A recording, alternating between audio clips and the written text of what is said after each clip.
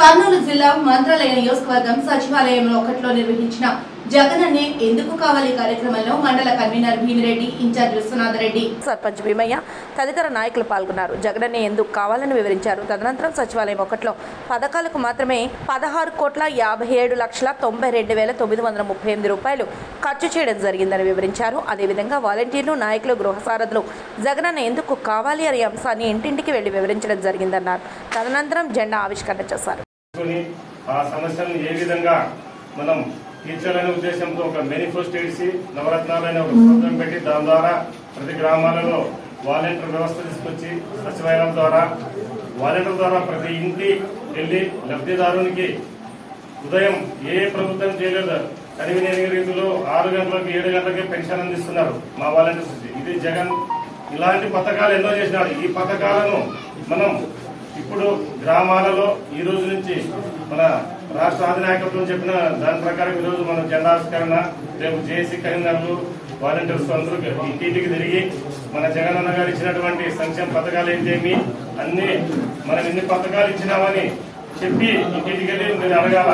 అడిగి ఏవైనా ఇంకా సమస్యలు ఉంటే వాలంటీర్ ద్వారా మనం తీసుకొస్తే సచివాలయాలకి మనం తెచ్చే సమస్యలు ఇస్తే ఆ సమస్యల పరిష్కారాలు బయటికి అయింది. మనం ఎన్నో అద్భుతాలు సృష్టించారు మన జగన్ గారు. ఈ అడిగిన ఎరగని రీతిలో పక్క రాష్ట్రాలు కూడా మన సంక్షేమ పథకాల్లో పాలు పంచుకునే విధంగా వాళ్ళు కూడా తమిళనాడు అయితే సచివాలయ వ్యవస్థ పంజాబ్లో ఈ పశువులు ఇది పెట్టారు అంబులెన్స్ బస్సులకి అది కొన్ని మన పాయం తీసుకొని కొన్ని రాష్ట్రాలు మన జగన్ అన్నే ఫాలో అవుతున్నారు. ఇలాంటి సంక్షేమ పథకాలు మనం ఎన్నో చేస్తున్నాం. ప్రజలకి వెళ్ళి మనమంతా మా నాయకులు మేము మీరు వాలంటీర్స్ అందరూ కలిసి ఏమేం చేసినాం? మన జగన్ వచ్చిన తర్వాత ఏమేం చేసినాం? ఇంకా ఏమున్నాయి?